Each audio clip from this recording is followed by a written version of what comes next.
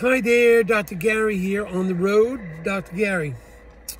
Um, today's topic is the seller asks, why can't I use the same dental contract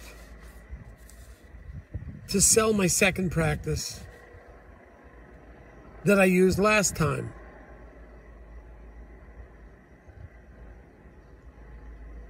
Well, this is an interesting topic, and we're going to get into that why you can't use the same one.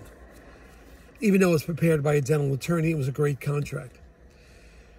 So let's go into that in a minute. Anyway, this is Dr. Gary, Dr. Gary on the road. I'm a dentist, was also a dentist for 25 years and now a dental practice broker. Name of our company is Healthcare Practice Sales LLC. We sell dental practices for the past 11 years. I was a dentist for 25 years, and we have a staff of eight employees now and two CPA accountants. We're in 19 states. Our contact information is 201 663 0935. And our uh, website is dentalpracticeguide.com. All the information you're about to hear is for entertainment purposes. It's not legal or business advice. We're available 363 days a year. I take off Christmas and Easter. And uh, Call us anytime. We're available from 7.30 a.m. to 9.30 p.m. Although we answer the phone constantly. In fact, the only time I don't answer the phone is when I'm swimming in the ocean or I'm on a plane, a jet. but we're here to help you. Just give us a call. Especially sellers, we can give you a free consultation, free evaluation of your practice, and we're here to share information for you, with you uh, especially if you were thinking about buying, uh, selling to a DSO. We have valuable information. Often our fees are paid by the DSOs, and we have our choice of DSOs. We're independent. We don't work for any DSO.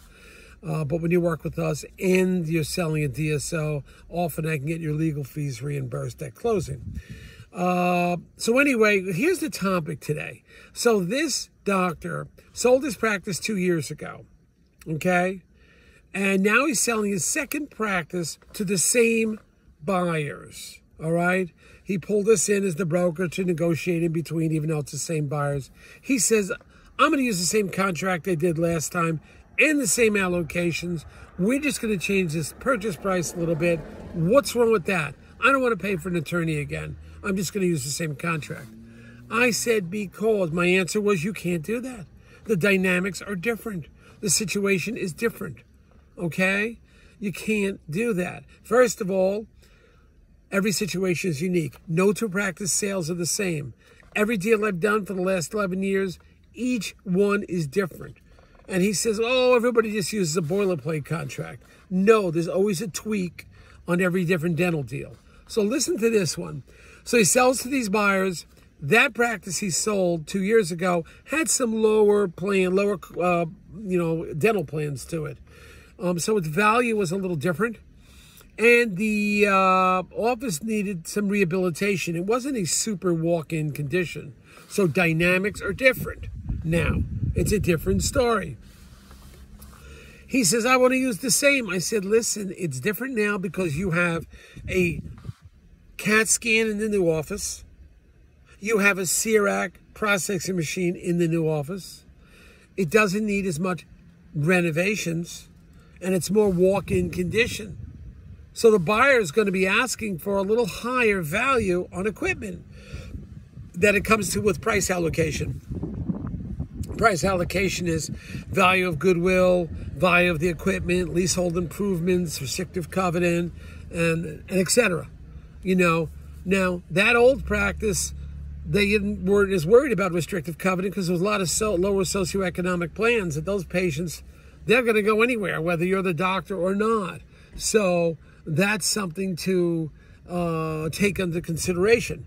Uh, secondly, you have this brand new or relatively new uh, CAT scan. I mean, that cost you a hundred thousand, even though it's depreciated. Maybe it'd still be worth seventy thousand or sixty-five thousand, even though it's gone undergone depreciation. So it is something that you've got to take into consideration. You can't use, and the buyer doesn't want to use the same allocation. The buyer is going to ask for higher equipment value and a little bit lower uh, goodwill. Obviously, the goodwill is going to affect you because you're going to have to pay higher on the equipment value. But that's what the buyer is going to argue about. You simply can't take that old contract, substitute, change the numbers, and think, hey, everything's fine. It was a great contract then. It's the same buyers. I shouldn't have a problem. Every deal is different. Every contract is different. Even though they may have certain similar characteristics, they're different. Okay? The practice you're selling here has more PPO fee for service, where the other one was PPO low income DMO plans. It's different than this one. The buyer's going to have different requirements, even though it's the same buyer. So you've got to be able to uh, keep your mind open. And yes, you're going to pay four, five, six, seven thousand dollars or higher for your dental contract. Dental contracts can range, you know, up to fifty thousand dollars when you're dealing with a uh, DSO. If you have multiple, multiple practices, it could be seventy-five to a hundred thousand because it's so complicated. Especially if you have six, six, seven practices and it's multi, multi million. You know, it depends. Every deal is different, uh, and there's a lot more work in one of those. But but still, you have to be aware of this. You have to be knowledgeable of this. You have to understand what I'm talking about here. Spend the extra money. Get the dental attorney, even if it's the same dental attorney. Uh, do the contract right. Understand what you're getting into. Protect yourself. Um, and, and understand where the buyer is coming from, where the buyer is going to want a different price allocation possibly for this. Even though the majority of deals are based on the goodwill because it's the patients. But if you know you have some fantastic equipment, it may be worth more to the buyer and a little less goodwill. So be, be aware of that and don't think you can just utilize the same contract. You don't know how many times they go over this with dentists that when they deal with the contract and paying the attorney. It's such a small amount of money compared to the sale of the practice, but it's something I got to deal with on a day-to-day basis. But the right attorney can change everything. You know what I say. I've said it a hundred times.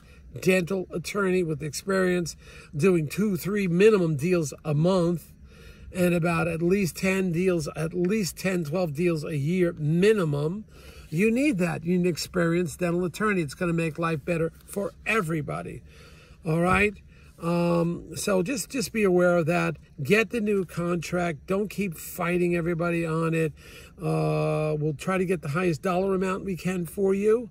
At the same time, get the best buyer because you don't want a buyer that's going to be a cowboy or cowgirl, whatever. Give you a hard time after the practice. Start whining about remakes. Starts whining you don't leave 30 days supplies in the office uh, starts complaining about patients, bad mouths you to some dentistry, but you don't know that buyer may have not have known what uh, circumstances were the day you inserted a crown.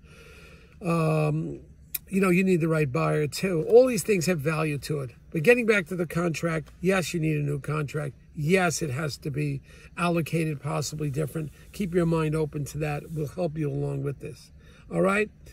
Dr. Gary signing off. If you're a, a large dental office you want to sell to a DSO, please call us first. They'll often pay our commission. We're able to sometimes get your, many times get your legal fees paid.